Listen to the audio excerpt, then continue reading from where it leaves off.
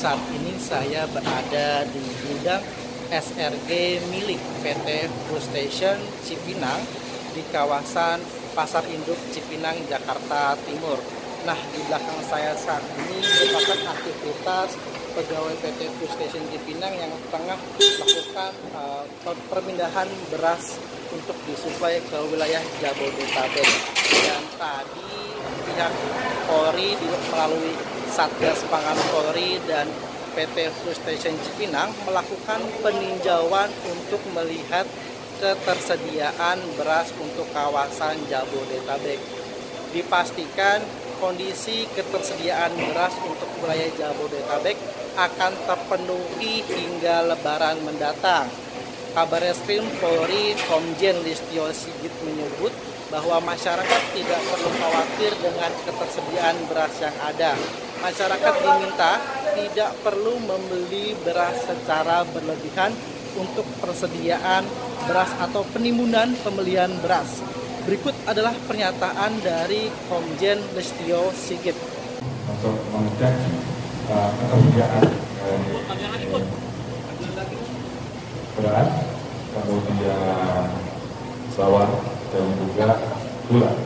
Ini untuk memastikan karena beberapa banyak sekali berita off yang menyampaikan bahwa ada beberapa pasar atau di wilayah DKI yang tetap memenuhi kami pastikan bahwa setelah kami dari berkoordinasi dengan tarif dari Indonesia kemudian rekan-rekan dari Pasar Jaya dan rekan-rekan dari pedagang beras Cipina semuanya menyatakan bahwa sampai dengan hari ini semuanya bukan seperti biasa.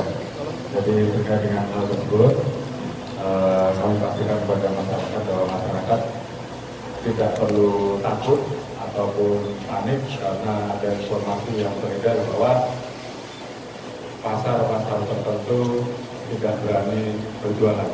Jadi tadi kita sudah wawancara langsung dengan pedagang yang ada, dengan pengurus pasar yang ada, dan semuanya memastikan bahwa seluruh kegiatan baik hari ini maupun ke depan pasar akan tetap berjalan seperti biasa. Kemudian dalam kesempatan ini kita juga melakukan pengecekan langsung baik di uh, tempat distribusi maupun di gudang dan juga di pasar terkait dengan ketersediaan stok beras.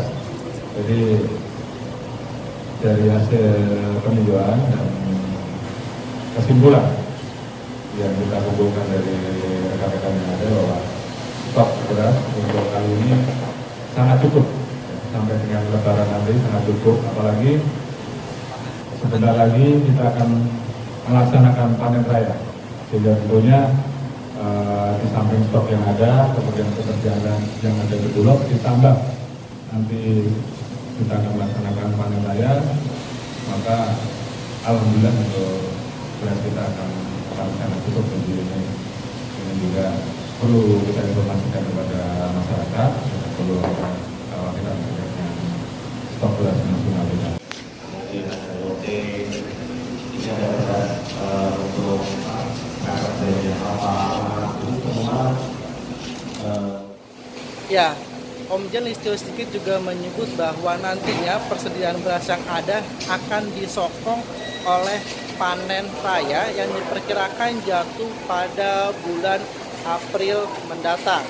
Selain itu, Komjen Listio Sigit memastikan seluruh toko bahan sembako tidak tutup. Toko akan terus melayani masyarakat yang ingin membeli bahan sembako atau bahan pokok penting.